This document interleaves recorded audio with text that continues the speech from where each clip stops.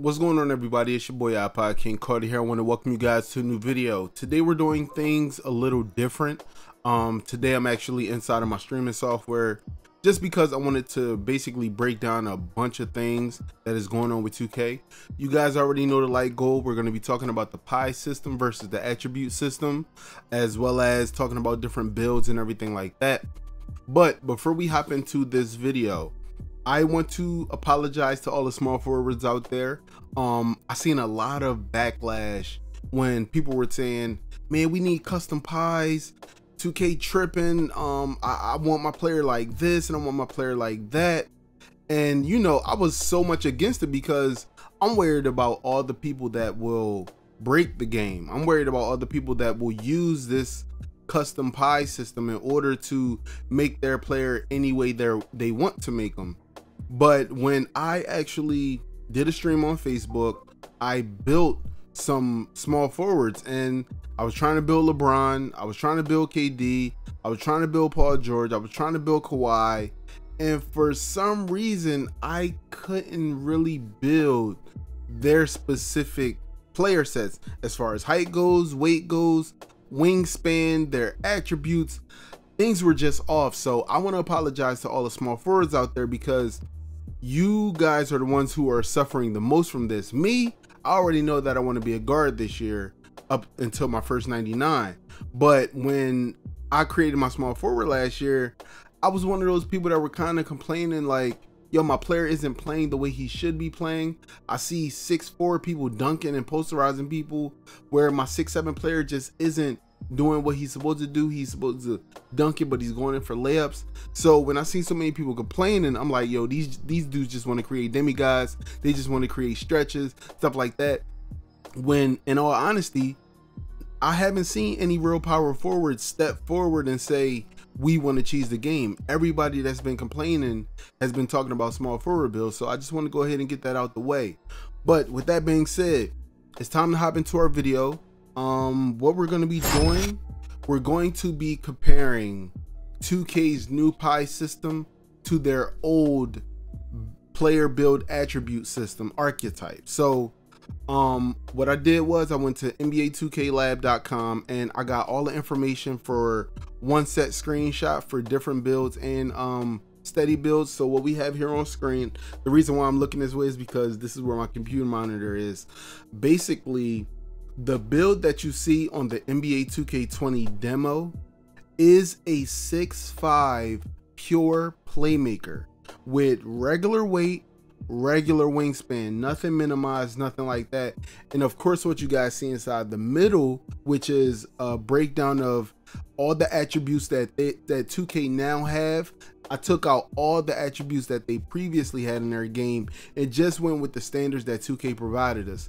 2K Lab provided this uh, entire breakdown, their whole system. They even got a new Pie system for 2K20, so I'll be checking that out as well. But basically, you guys see we have block, ball control, defensive rebound, driving dunk, driving layup, offensive rebound, open mid, open three. Of course, they took out contested and moving. Um, they have the post control, which I believe is now maybe post moves. I'm not sure, but they have post fade, post hook in the game. So I'm guessing post moves is post control. They have shot close speed, speed with ball. You know what I'm saying? They have standing dunk, steal, strength, and vertical. They don't have acceleration, but I'm guessing that speed with ball maybe replace acceleration or speed. Not totally sure, but what I tried to do, guys, is I tried to recreate the 6'5 pure playmaker point guard position on NBA 2K20 demo. And this is what I came up with. So the first thing that you guys see they gave a close shot of 84 to the NBA 2K20 demo, and in NBA 2K19, their shot close was at 84. So I was like, okay, maybe things are, you know, cool. Maybe things are evening out. But what I ended up noticing is, let me see, uh, driving layup is 82, which is correct. Offensive rebound was 66 in 2K19, but in 2K20, it's at a 62. Their defensive rebound was a 66 in 2K19, but it's a 65 now in 2K20. their block is a 55 inside of 2K20, but on 2K19 their block was a 62. So I think that what's happening is they're not making them more defense heavy. And the funny thing is, I ran into a bunch of problems because interior defense, perimeter defense, and lateral quickness was not set on the 2K Labs website. So I had to kind of gauge where I wanted to put those points. But what you guys will notice is a big thing, especially with being a pure playmaker, is that ball handle is now maxed out at 95 in NBA 2K20, whereas though ball control is maxed at a 98 in NBA 2K19. Another thing, pass accuracy wasn't listed on NBA 2K19, so I kind of had to gauge where pass accuracy should be. So I put it up to a 91. And me putting that up to a 91, it hurt all the other attributes because I'm like, yo, this is a pure playmaker. I wanted to max it out, but I couldn't max out pass accuracy because it felt like if I max that out, I would be missing so many other things. Now check this out. In NBA 2K19, the open MIDI was at 80, a right standard. Now, this player is 6'5 on both screenshots. It's 6'5 on 2K19's NBA 2K Lab Builder, and he's 6'5 on the game. Now, of course, I didn't lower his wingspan. Now, I'm not sure if 2K Labs builds said, well, this is with minimum weight and minimum wing, max weight or max minimum, I mean, max wingspan. I believe that their build was straight from regular weight and regular wingspan. So, um, also the three point shot is a 75 on 2K20. The open three for a pure playmaker in 2K19 was a 79. Now, I know you guys are probably like, four points really isn't a lot, but it truly is. Four points can really you know what I'm saying, make or miss. You know what I mean? Like four points is really huge. Free throw was another one.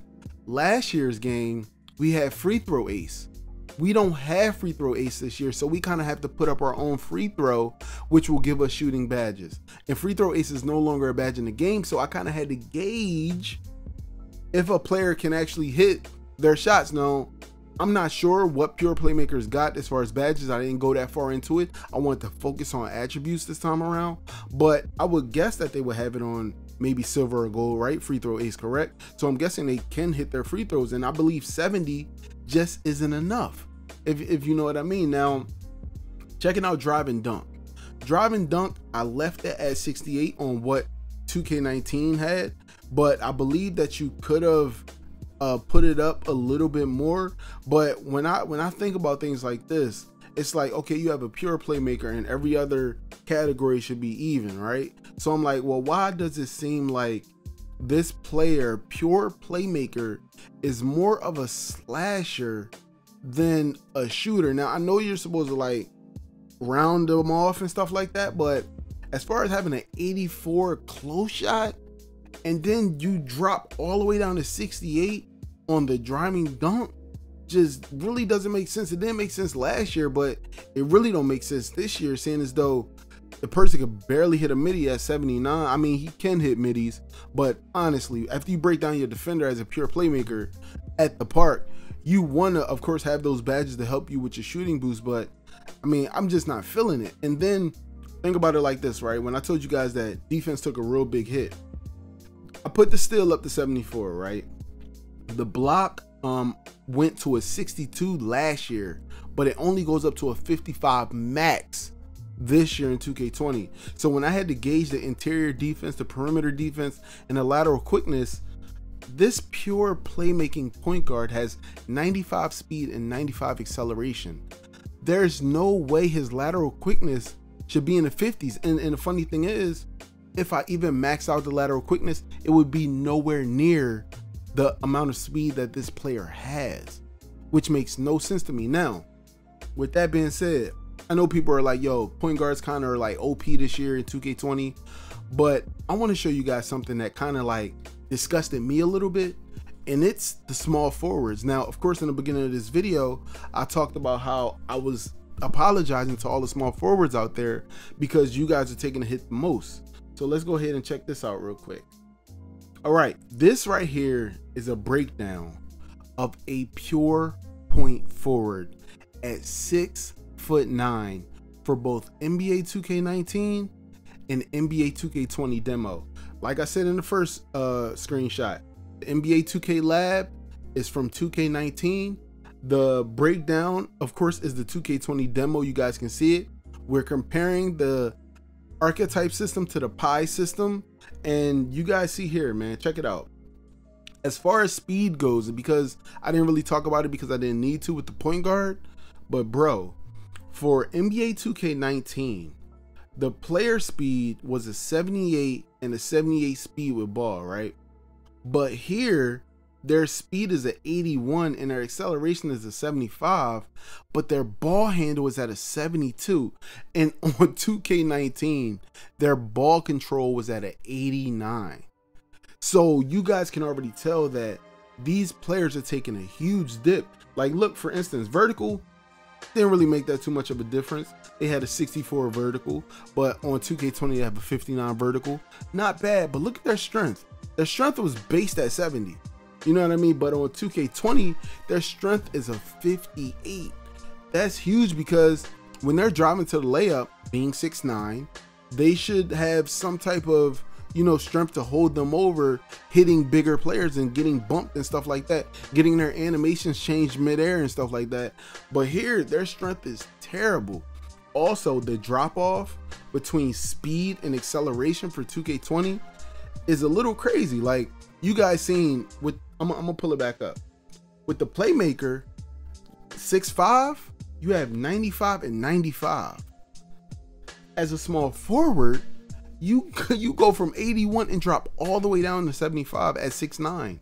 And let's talk about a couple other things, right? So remember, I told you guys I had to gauge what pass accuracy would be, right? Now, I believe that I kind of put their pass accuracy a little too high. You want to know why? Because I just feel like their ball handling being a 72, their pass accuracy can't be nowhere near that, right? So I just gauged it saying, man, maybe I should max it out. But let's go through the block, right? So the block, I kept that at 65, which was cool. The offensive and defensive rebounding, they both stayed at 67, which was cool. The driving layup went down two points from last year, from 78 to a 76 rating. Their open midi went from an 80 to a 77. That's crazy. Their open three went from a 79 to a 70 as a pure playmaker in 2K20 from 2K19. The post control, I tried to keep that mainly the same. Is it was at 66 last year. I put it at 67 this year. Their post fadeaway stayed the same. Their post hook went down one coming into 2K20. Uh, their shot close stayed the same. Their standing dunk went down 10 fold. This player is 6'9 in 2K20 and 2K19, yet it went down 10 points coming into 2K20. They're still, they're still went down almost 10 points. Now, of course, 6'9, minimum wingspan, cool. Mid regular wingspan, cool. But they're 6'9. So I feel like they should have a little bit better of a steal chance than a 6'3 minimum wingspan player. Um, and like I told you guys, their strength and their vertical both went down big time this year. I, I'm sorry. I'm, I'm gonna keep saying again, I am sorry for everybody that is going through this. You know what I'm saying? For people that can't create point forwards, I understand your pain now. You know what I mean? Because of course I haven't created a point forward, I believe ever. I haven't created a point forward ever. So I don't know the pain of not being able to be that height and being able to speed boost, momentum, you know what I mean? Get past your defender, break people down. But at the same time, I, I, I know I'm, I'm, I'm gonna be on this hill. I seen a couple like point forward lockdown glass cleaner like type of like teams inside stage at the park and stuff like that. Y'all know y'all was cheesing. Just, just putting that out there. But listen, last but not least, it's gonna be the last build I'm gonna talk about, and that's and the reason why I'm gonna talk about this is because this is really why the Pie system has to be changed, and I will go into why that needs to be changed. But let's check it out, man. Let's talk about the playmaking and sharpshooting or shooting Pie for a moment, right? So um I've been tweeting out a lot of stuff on Twitter lately. Um, even when I streamed on Facebook the other day, I had put up a couple screenshots telling people about the presets that I made. Like I chose a LeBron preset, I chose the KD preset, and their presets were trash. They were nowhere near in comparison to what those players can do. Of course, those players are superstars. The builds that look like I preset created were role players. You know what I'm saying? And trust me, in 2K, we don't want to create role players. But the reason why I was talking about we don't need custom pies inside the game is because I believe custom pies are going to do one of two things.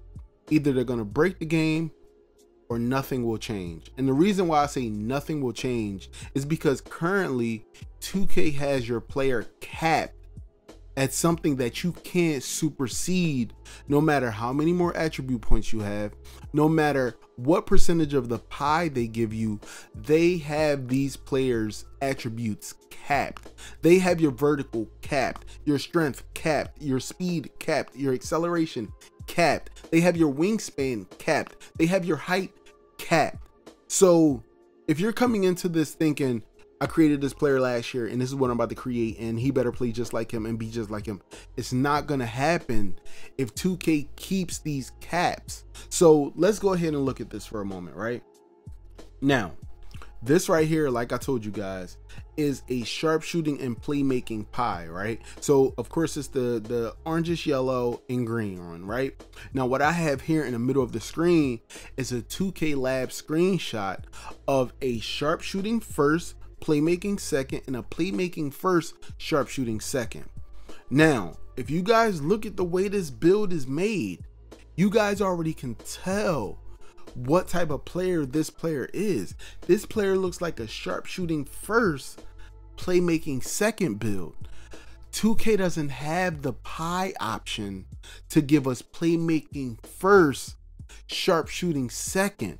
They don't even have it where maybe it's a little even they only give us the option to be more of a sharpshooter than a playmaker.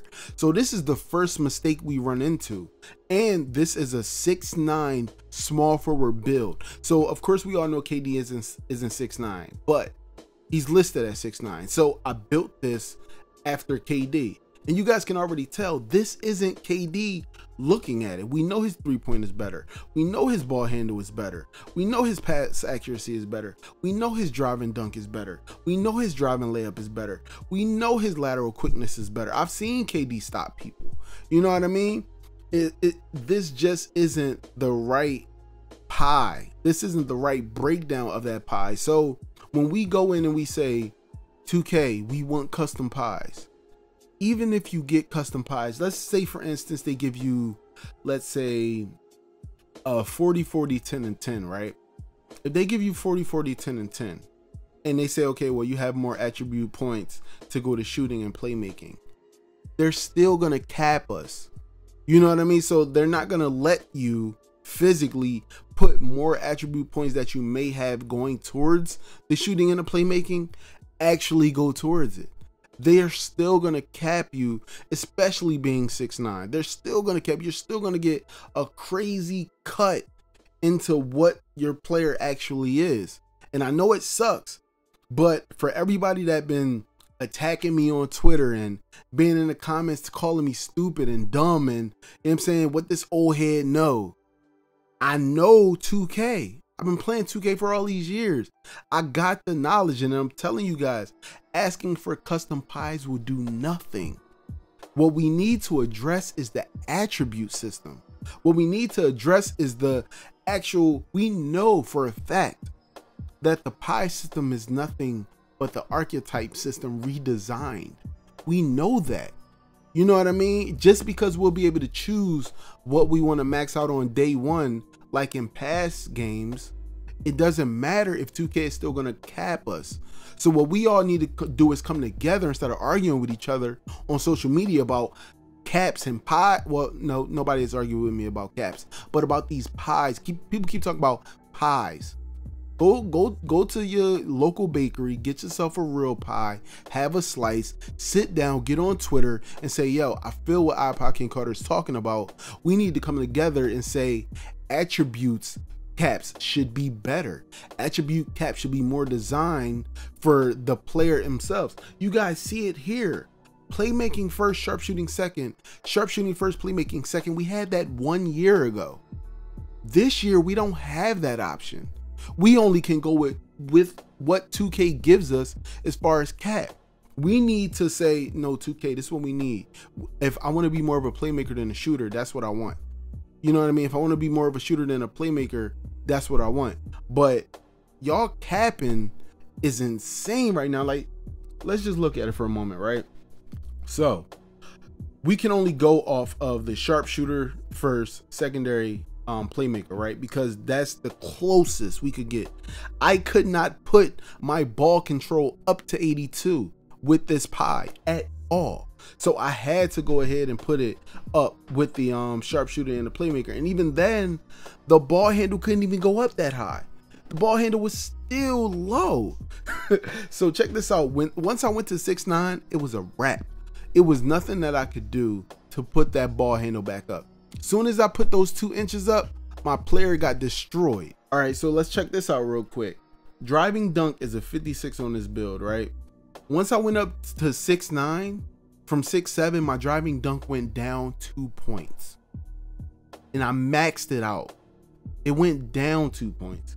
Let's take a look at driving layup. Driving layup was a 72 and a 78 if you were playmaking first. On 2K20, it's a 67. That yo, that caps on y'all apps is crazy. Yo, the caps is crazy on the attributes, man. So, all right, check it out. Open three. If you were a sharp first, you had a 92. If you were a playmaking first, you had an 84. On 2K20 at 6'9, it's capped at 78.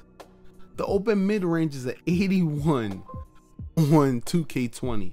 It was an 88 if you were a sharp first, and an 85 if you were a playmaking first. That is insane. Speed with ball. Look at this. Speed with ball was a 69 max. Of course, you got better speed here, and you got better acceleration here, and that's because of the physicals I picked. But look at your strength and look at your vertical. Your vertical kind of stayed just about the same, but your strength went almost down 20 points. And you're 6'9. How are you not strong? This is regular weight, regular wingspan. All right, let's go to standing dunk you have a standing dunk of 65. Okay, last year was a 57 if you were sharp first, and it is a 67 if you were playmaking first. So that's kind of averaged out. Let's look at shot close. Shot close, it went up to 85 when I put my head up two inches. Now it was 84 if you were a playmaking first, and the 79 last year if you were a sharp first. What's really huge here? Look at the post hook, guys. In 2K20, you have a 30 in post hook. And that was me being generous because I tried to like gauge what other stuff this player needed. And in 2K19, you had a 66 and a 70. Post fadeaway is high as hell. Look at the post fadeaway, guys. It's at 87. In 2K19, it was at 66 and a 70 if you were a shooter. It's at 87 on 2K at a 6'9 player. Free throw, I had to gauge it. I didn't have many points to work with. You guys see here, interior defense, perimeter defense, lateral quickness. I'm guessing if you're 6'9 and you're a little bit slower, but I mean, your lateral quickness and perimeter defense got to be a little bit better than that. You still, let me see what steal was.